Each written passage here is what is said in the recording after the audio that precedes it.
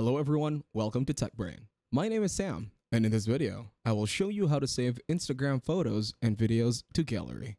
Open the Instagram app and log into your account. Go to your profile by tapping on it at the bottom. Tap on the three lines at the top and reach Settings and Privacy. Scroll down and tap on Archiving and Downloading. Enable the Save Original Photos option. You can also tap on other options to enable them. That is it.